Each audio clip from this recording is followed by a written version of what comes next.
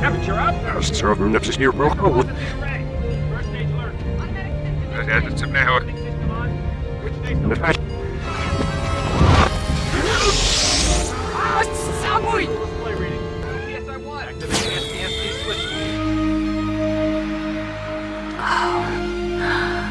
had no idea I could feel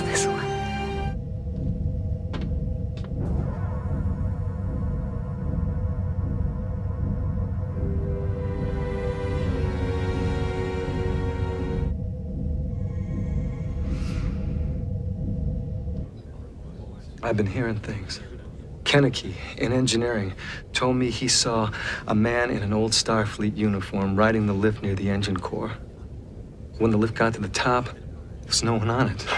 Ghost stories. There's more. There's lots more. There are strange things happening on this ship, O'Brien. I'm surprised at you, Gillespie.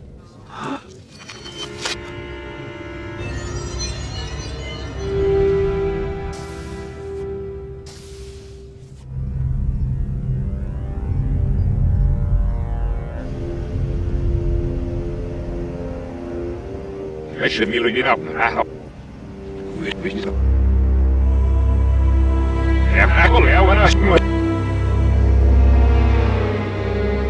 Captain, he doesn't understand you. He knows I'm here. Yes, but in a nightmare of disjointed images and half heard voices. He's in another dimension, looking at us across a great chasm. Damn you, help me. It's no use, Captain. He can't answer you. When we get closer to his time, he may be able to. I will not be drawn into a hypothetical argument, Doctor. Your research on this ship is over. You are relieved of all medical duties until further notice. Is that clear?